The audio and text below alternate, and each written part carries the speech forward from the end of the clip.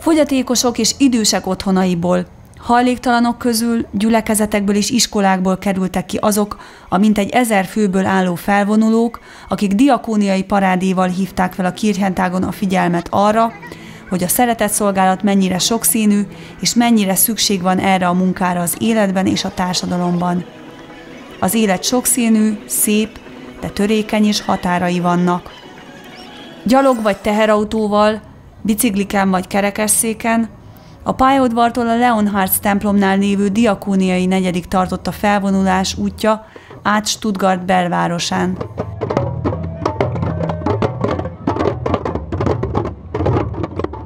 Megérkezve aztán a Leonhardt kirchéhez sokszínű ünneplése került sor, melynek egyházunk diakóniája is részese volt. A Szarvasi Ótemplomi Evangélikus Egyházközség és a hozzátartozó szeretetszolgálat munkatársai 600 adag babgulyást készítettek, a vegetáriánusoknak pedig lecsót kínáltak. Sajnos némi szervezési malőr következtében lapos tányérokat kapott az ételosztó brigád, de a magyarok találékonysága nem ismert határt. A lapos tányéros próbálkozások után kávés poharakban osztották ki a Pásztori Mátyás és csapata által készített házias levest.